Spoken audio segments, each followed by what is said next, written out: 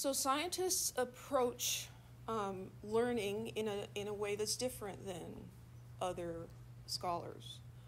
Um, the scientific approach is based on experiment.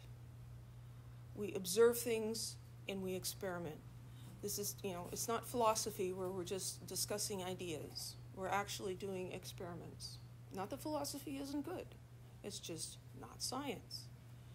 Um, what we call the scientific method is a process for understanding nature. It's not a set pattern, do this, this, this, and this. It's just a general idea of how you approach solving problems. And the scientific method, um, you know, as a scientist, I find myself applying this to everyday problems. Like the car's making a noise. So then I start making observations, right? Okay, it only does that when I turn left. It doesn't do it when it's cold, it only does it when it's warmed up. Things like this. Oh, well, maybe it's this. And then, well, if it's this, it should do that, right? And I'll test it like that. And I, I just can't help it because that's how my brain works now. It's good, actually. The key characteristics that we find in the scientific method um, include observation, formulation of hypotheses, experimentation, and formulation of laws and theories. Um, that's a link to a really cute little video. Um, but when I was planning this semester and looked at the times that all the videos took up um, that I used during the pandemic, it said I needed 37 and a half lecture periods to cover it all. We've got 33. That, and that's, that would be if we do no talking and stuff in between. We just go bang, bang, bang, bang, bang. So I'm going to be trimming some things out. We're not going to spend four minutes watching that video. Of course, I just wasted like 20 seconds talking about it. I can't help myself. So let's talk about those parts. Observations. Um, observations are also known as data. And data can be um, numerical, quantitative, you know, this thing weighs 5.2 kilograms. Or it can be qualitative, like the color of something, you know, describing the bench top, it's black, right? That's, that's data, an observation. So that these are descriptions about the characteristics or behavior. And this is a painting of an early scientist, Antoine Lavoisier. Um, he's sitting here, and, and that's his wife. Um, and this is one of his pieces of equipment. Um, do you guys like playing with fire? Anybody? Mm-hmm. Yeah. So if you like playing with fire, you might be a secret chemist. Most chemists enjoy burning things up, right? I don't like danger, but I like, you know, because I know what's going to be safe. So I like burning things safely, right? So this guy was interested in burning stuff. So he was burning things in a closed container. Not like, you know, let's let's talk about wood maybe. So you get a big piece of wood and you stick it in your fireplace and it's like miracle of miracles, it's a burn day, right? And so you burn the log. What's left when the fire's out? Does it weigh as much as it did before? No. You got some ashes, kind of messy, but they don't weigh very much. What happened to the rest of the wood? Ever think about that? Where'd it go? Yeah, well, turned into heat. Yeah, there is heat involved. Did the matter turn into heat? Did the matter go away? These are the sorts of questions Lavoisier was interested in. So a fireplace is open to the rest of the atmosphere, right? So if there are gases being produced, you're not going to know what they are or where they're going, how much they weigh. So he burned things in a closed container so that if gases, you know, were given off, they were still stuck in the container. And what he found was objects in this container, well, the container with the object in it weighed the same before he burned it and after he burned it. So that was like, wow. Because that's not something that you would get, right, just by watching stuff burn. You'd think, well, when you burn something, it gets smaller, lighter, it, it gets reduced. But actually, the mass of material doesn't change. And so observations like this lead to the formulation of a hypothesis. What's the hypothesis? A tentative interpretation or explanation of the observations. It's us looking at what happened and coming up with, well, why might that have happened? Now, most of our hypotheses are just flat out wrong, but you don't know until you test them, right? So you come up with an idea. Well, I think it might be this. So his hypothesis was that the substance burning combines with something in the air and and that's why you can't see it later but it's just it's not gone it's combined with the air right so that was his hypothesis the thing about a hypothesis is that you need to be able to test it you know you can't have one where it's like well little green men actually not little green men little invisible men from mars come and take away part of the substance when it burns. You know, weird. You can come up with some really, really weird things. How could you test that? You couldn't, right? How would you know if invisible aliens came? You wouldn't. So that's not a good hypothesis. A good hypothesis is falsifiable. We test our hypotheses by experiments. And our experiments are most useful when they are highly controlled.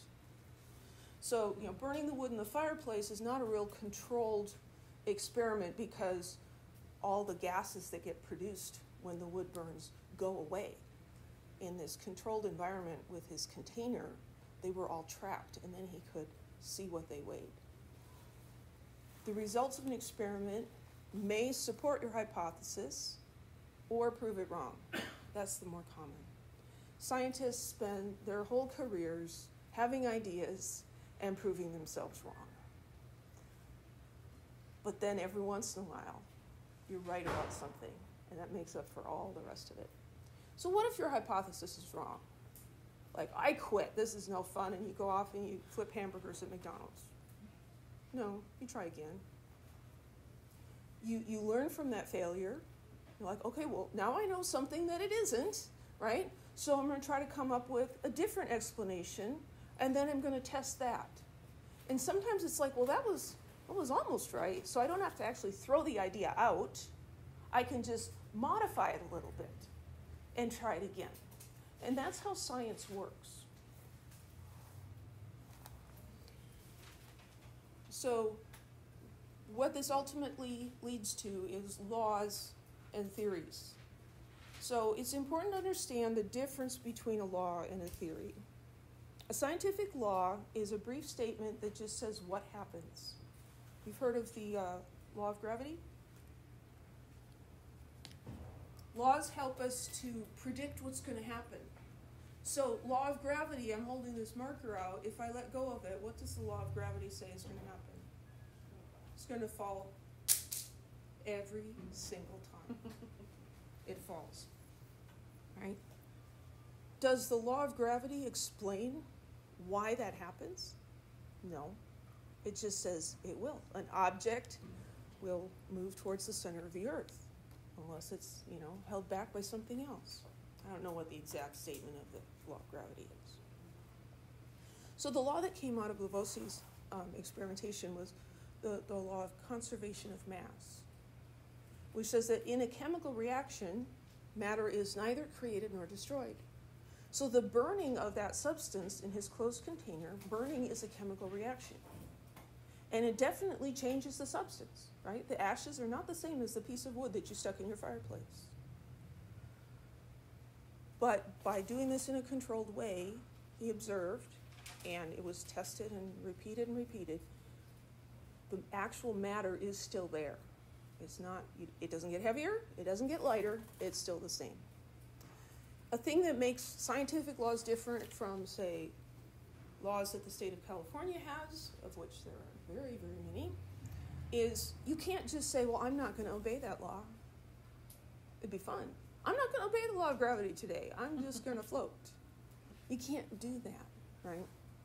Scientific laws just describe how nature behaves. a good hypothesis will be tested and tested and tested because scientists are very um, skeptical of each other and we, we publish our work so we can say, I, I did that first, right? And then you give enough information that other people could do the same experiment and they should be able to get the same results. And they're actually going to take the time, many times, to do that. They're like, well, I don't, I don't think I believe them. I want to see if that's right. And so you do the experiment and you're like, well, yeah, it worked. So it gets tested by other people as well. A well established hypothesis can form the basis for a theory. Unlike a law which just says what happens, the theory is a model for why it happens. It's not just what happens, but why is that happening? So later on, John Dalton came up with his atomic theory that explains the law of conservation of mass.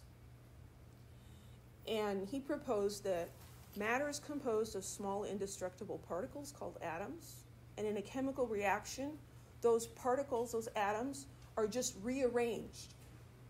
They aren't created, they aren't destroyed, they're just rearranged. So if we think of that in terms of Legos, you know, you've got some Legos and you built a little castle or something, and you put on the scale and it weighs a certain amount. Right? You take the castle apart and you make other things out of it. You put the things you made out of the castle on the scale, and it's going to weigh the same, right? Because the individual bricks didn't change. What changed is how they were stuck together. That's what's going on in a chemical reaction. The atoms are just changing how they're combined with each other, but the mass is the same because the particles are the same. And that's actually a really big, important idea in chemistry and science in general. Theories also get tested um, by experiment.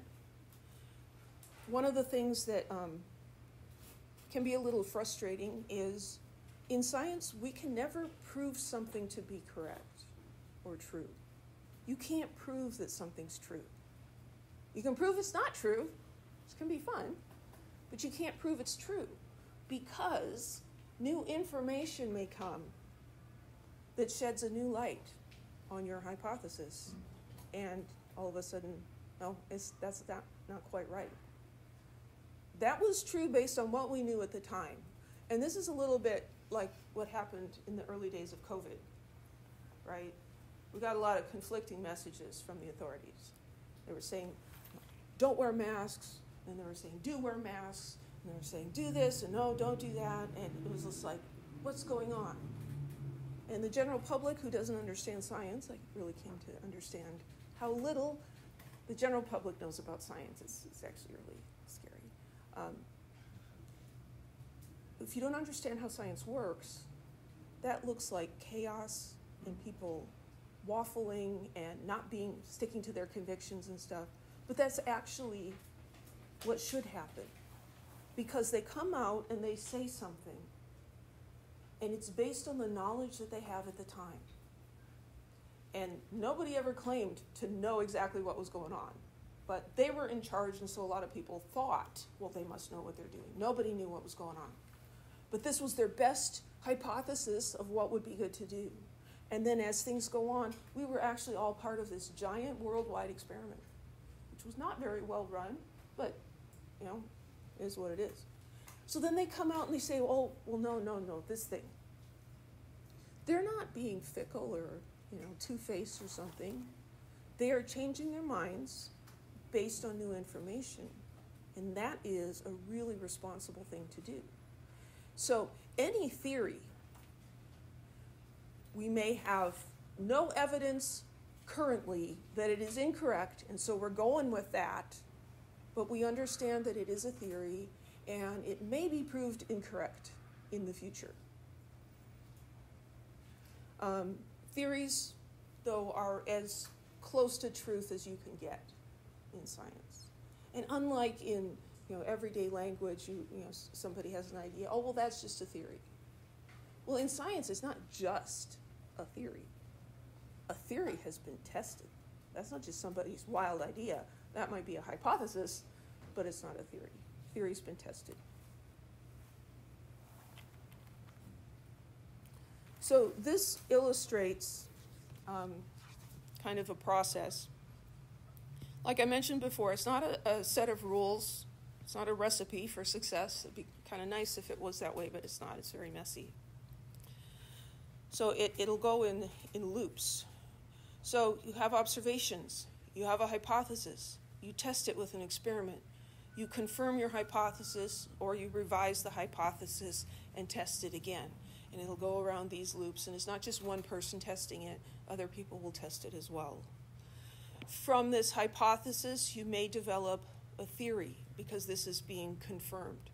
You may develop a theory. Well, the theory also gets tested and tested and confirmed or disproved by experiment. Um, from observations, we can come up with laws. You know, every time you drop the pencil, it falls to the floor. Well, you know, you do that with a whole bunch of things, and that eventually becomes the law of gravity. But then the laws are also tested and confirmed and tested and confirmed. So it's actually very messy. But there's also a lot of discovery that happens in that process. So here's a question. Um, and anytime you have multiple choice question, you should always read all the choices. You can make, you know, like no, yes on them, but read them all before you make your choice. So, which statement best explains the difference between a law and a theory? A law is truth, a theory is mere speculation. A law summarizes a series of related observations, a theory gives the underlying reasons for them. Or a theory describes what nature does, a law describes why nature does it.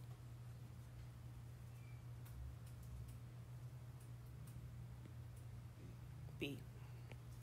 The answer is B. C is stated much more concisely, but it's exactly backwards.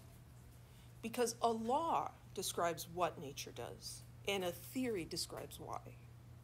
So B is the correct answer. And A is just someone who doesn't understand science.